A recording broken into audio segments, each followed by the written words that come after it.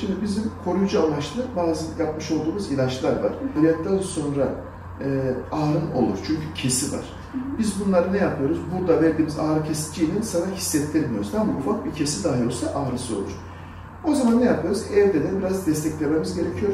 Çünkü sinir dokusunun böyle kendini epitelize edebilmesi için, ağrının bayağı bir hafiflemesi için en az bir 24 saat geçmesi gerekiyor. 24 saat sonra bile olur.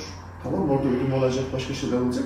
Sana ağrı kesici, e, bazen de koruyucu amaçlı antibiyotik veriyoruz. Vermiş olduğumuz bu ilaçları da kullandığın zaman taburcunla ilgili olarak bir sorunumuz olmuyor. Evinde kalan tedaviye devam edebilirsin. Son olarak şunu söyleyeyim. Pansumanın o kesi olan yerleri bir iki gün açma tamam mı? Daha sonra kileresi açılabilir. Açıldıktan sonra herhangi bir batikonla siliyoruz. Kapama dediğimiz çok küçük jelasimsi şeyler var. Bunlar banyo yapmana izin veriyor. Onlarla kapatıyoruz. İki hafta kesinlikle bunu kullanman lazım. Ama 2-3 haftadan sonra artık herhangi öyle bir şeye ihtiyacın yok.